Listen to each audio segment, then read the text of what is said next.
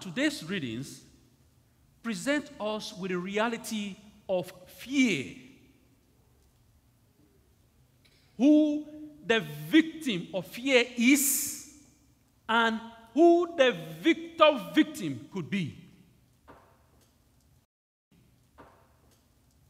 You recall last Sunday, there were two parables within the reading we took from Mark just Gospel chapter 4.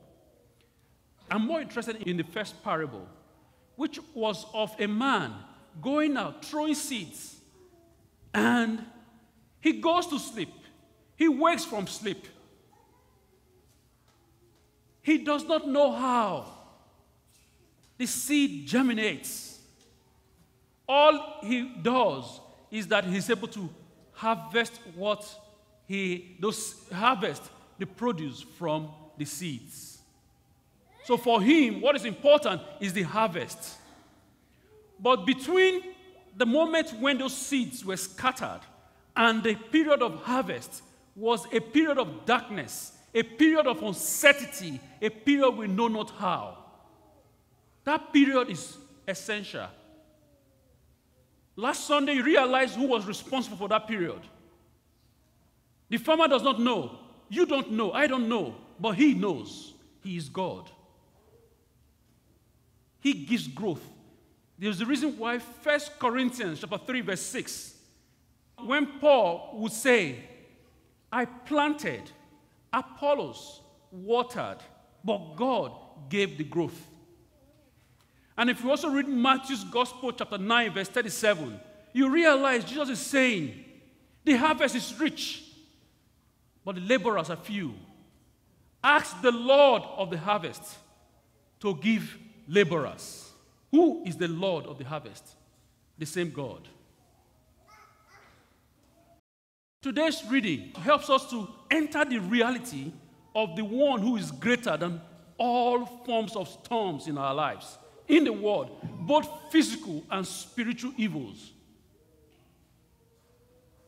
And the first reading, taken from Job chapter 38, clearly indicates the situation. But for us to understand what is happening in chapter 38, we need to go back. Recall in Job, Job chapter 1, precisely around verse 6 following, God permits Satan to put Job under serious trial. Why would God permit Satan? But first of all, he says, he got into a conversation with Satan. Have you not noticed my servant? Then Satan will say to God, You've given him so much protection. And he's doing that. He fears you. He's, a, he's an honest man. He's a righteous man because of what you have given him, his possessions, what he has. But that was a lie. Satan is a liar. That was a lie. So God said, It is not true. What you are saying, what you are thinking is not correct. The truth is, Job is upright and he fears God because of who he is, not what he has, or not his possessions.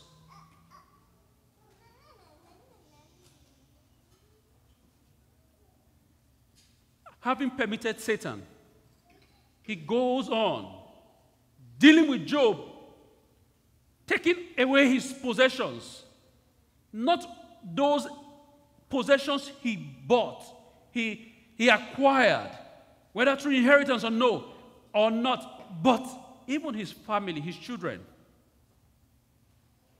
Some around chapter 2, his wife would even say to him, Why don't you curse God and die? It is better for you to die than to be in this very sorry state. Now, my dear brothers and sisters in Christ, has your spouse said that to you before? That it's better for you to die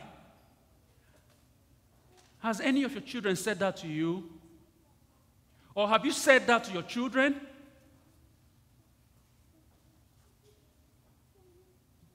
It is being said now. Listen, it is being said now. Someone is saying that now. But no. Job would not curse God. And around chapter 23, the trials, the torment, the, the problem of Job goes not just from his feet, gets to his throat. Now he's suffocating. He speaks out. Like Job, we get to a point, a, almost a breaking point, where we say, Lord, what is this? What is happening to, to me? What is happening to us? It is human to ask like Job. And Job will want God to give him a reason. Job was an honest man. He obeyed the commandments. Like you, you he attended, he went to mass every, every Sunday. There was no Sunday he didn't go to church. In fact, Job went to mass every day. Or Job goes to mass every day, comes to mass every day. He prays every day. Job contributes to APA, does not delay, writes a check very quickly. Job supports all charities. Job takes all occasion to teach his children and even offers sacrifice, ensure they go to receive the sacrament of reconciliation in case they have sinned. Please go. You need reconciliation. I don't want you to die in sin. That is Job. And once he raises the question, God would allow the passage of time. In chapter 38, which is God giving answer to Job, our reading is extracted. Part of it is taken as our first reading today. But it doesn't stop here. If you go to chapter 40, Job would say, I have spoken once, I will not speak again. And if in chapter 42, he would say, I repent of having thought that I was right and you were wrong. In my life, I have prayed like Job. My journey to the priesthood. After my, my, my college, computer, I studied computer engineering. After my college, I worked for about seven years in the industry before I got into the seminary. And when I went into the seminary, I had high expectations. I assumed that the seminary was supposed to be a place where angels were to come and become priests, but I was disappointed. What was my scandal? The scandal was not that somebody did, it was just the case that I saw two brothers not being able to be, to be brothers. Two future priests not being able to be, to be brothers in the priesthood. I was afraid. Was I going to be like that? Was I going to be a priest where I cannot have that love with a brother priest? Was I going to be like? I was afraid and I broke down. I went to Jesus in the Blessed Sacrament. I knelt before him. I said to him, Lord, why have you deceived me? Why did you make me come this far? I was very upset. Jesus knows I was very upset. He knows very well. And I poured out my bitterness to him. But you know what? I didn't walk away.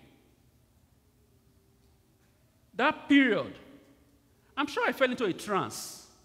It was a case that for about one minute or two minutes, what happened to me was he revealed to me those occasions from my childhood to the, that moment where I was kneeling, how he had been present. All I kept hearing was, Who was there for you?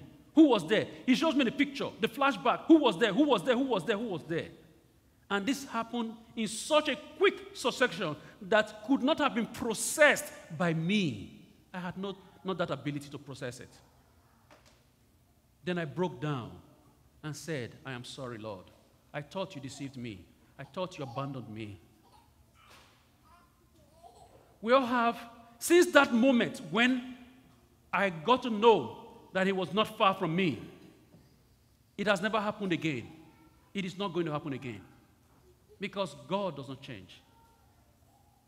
God is God. Even when the storm is breaking, the ship, the boat, is it's tearing us apart. God is God. As we may see in Job chapter 42, it says, God may be teaching me something. Recall that in the beginning of this conversation between Satan and God, Job was not consulted. Job was not asked to witness to their discussion. So Job was unaware. So you may have to be unaware of the difficulty you're passing through. You, you, you're trying to look for the source. You don't have any idea about the sources of your troubles. Stop trying to find them where God is God.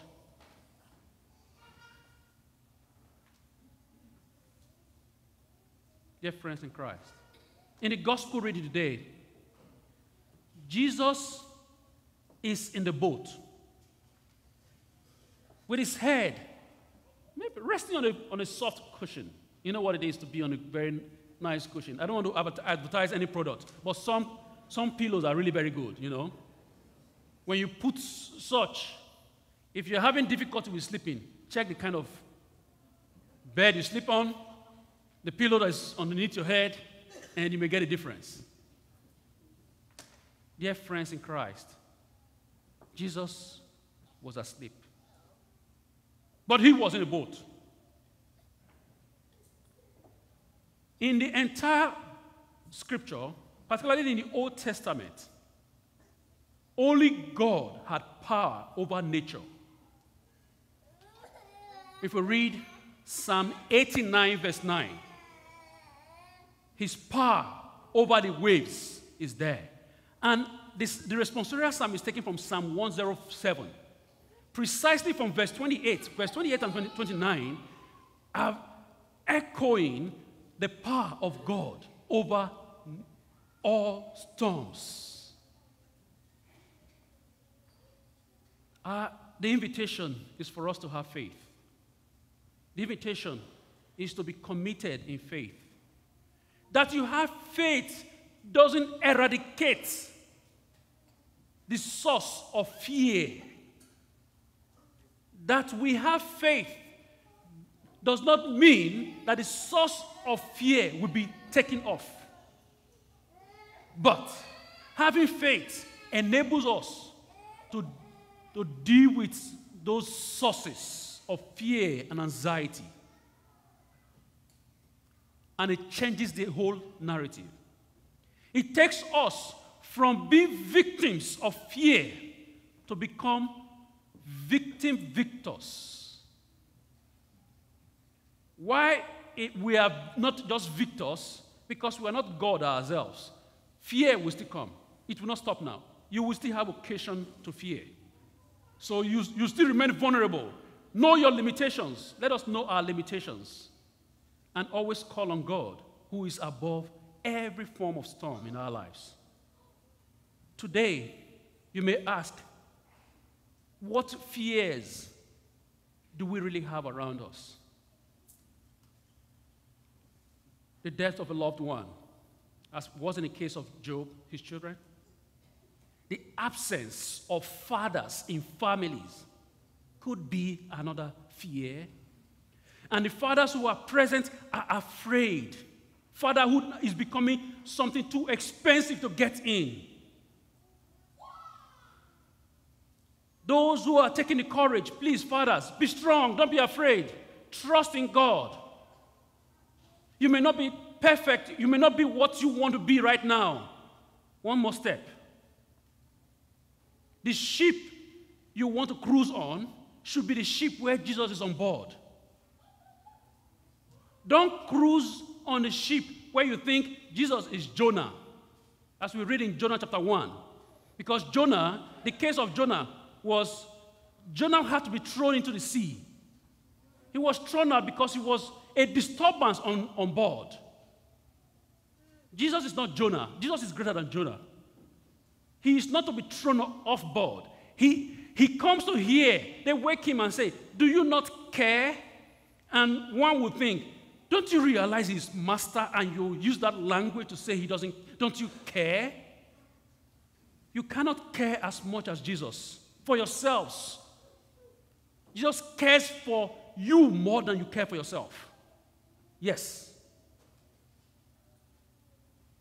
Let Jesus be on board through prayer, through sacrifice, through service, through empathy within the family, be able to understand. Giving people benefit of the doubt changes the narrative.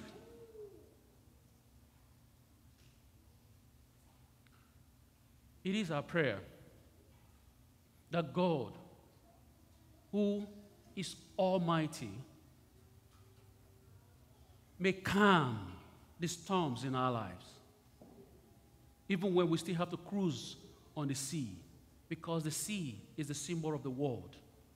The boat, the symbol of the church, and by extension, the church being, the family being a domestic church, by extension, the family once Jesus is on board, all fear is gone. Even when it waves, even when it is turbulent. May God strengthen us, strengthen our faith. Amen.